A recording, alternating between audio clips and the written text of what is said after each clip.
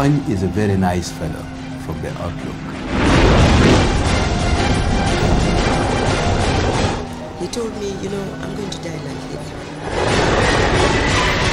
Very persuasive and very sharp.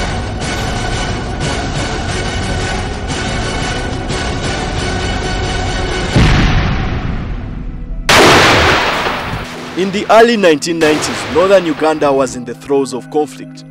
During one of the longest insurgencies in Africa, Kony's acolytes continued to kill, maim and abduct. False information upon abduction during the war was a common survival strategy that Acholi parents taught their children. The LRA keep records of the names, clans, and village of birth of those they abduct. This is supposed to instill fear amongst those that might escape. In turn, their families would be targeted. According to accounts, Dominic Ongwen was abducted in the early 1990s. He was so small and frail that he had to be carried for the first few days by other captives. With a distinguished role at the treacherous battlefront, Ongwen gained the notoriety as one of the most daring and ruthless commanders of the LRA. There's a there's a crossfire. There's a war in in in Sudan called Pajok. And there's a war in Sudan called Pajok. Then that war, the Dinkas, Dinkas soldiers was laying ambush for almost one full month. So Dominic Ongwen and uh, the one called Chaela Guerra, so was there as a, a big command. So they order to kill. I don't know how to call to kill uh, the whole living thing. I would say like that. The whole living thing, whether children, whether woman, whether uh, insects, whether cow, whatever, they kill because was killed one of our command called Uchaela Guerra. It's a big command, by the way. In 2005, alongside Kony, Vincent Otti, Okot Odhiambo, and Raska Lukwiya, he was indicted by the International Criminal Court for war crimes and crimes against humanity. On a recent visit to Uganda, I asked the president of the Assembly of State Parties of the ICC why Ongwen, a victim of abduction, was indicted. And this was her response. I'm asked this question, and uh, I have to say I don't know. There is a variance of opinion of whether Ongwen should be indicted or not. During the Juba peace talks, you might recall that Dominic Ongwen was still in northern Uganda, even when all his other colleagues had crossed into DRC. He was given an opportunity to leave the rebellion and join the peace process. He refused.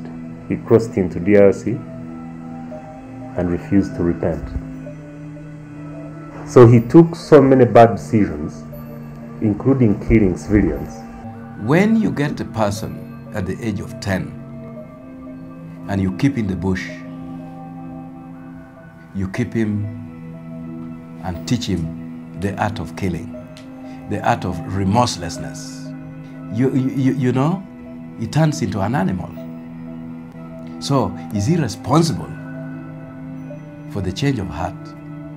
Is he responsible?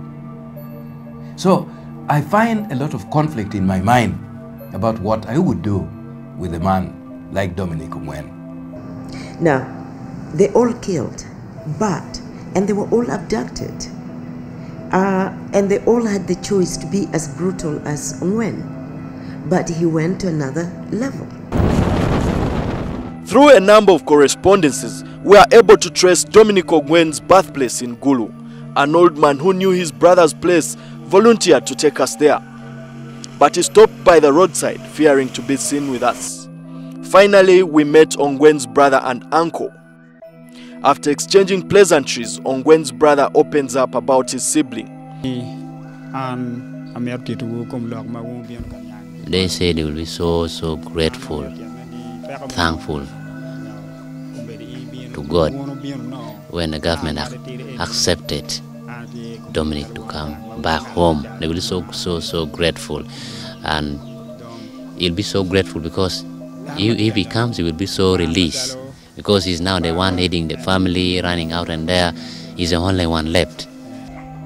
He also reveals to us the torment his family has been through after Ongwen joined the LRA. The family wasn't in good term with the government.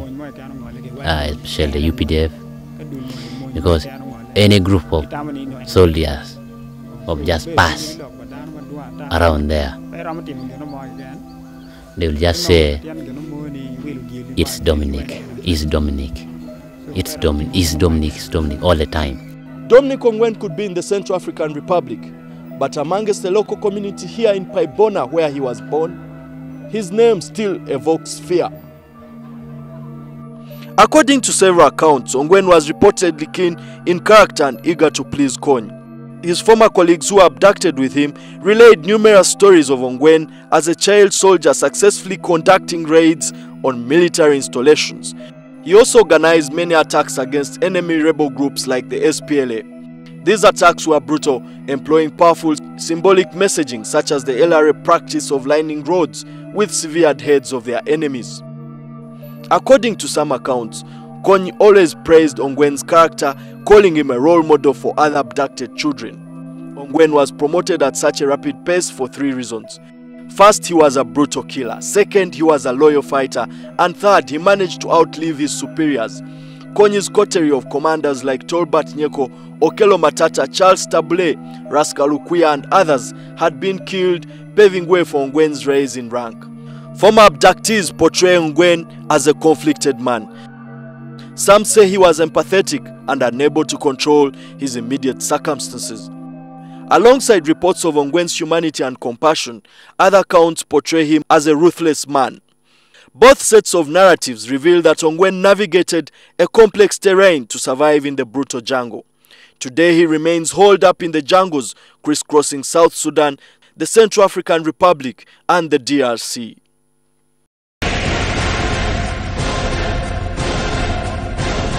Kony is a very nice fellow from the outlook.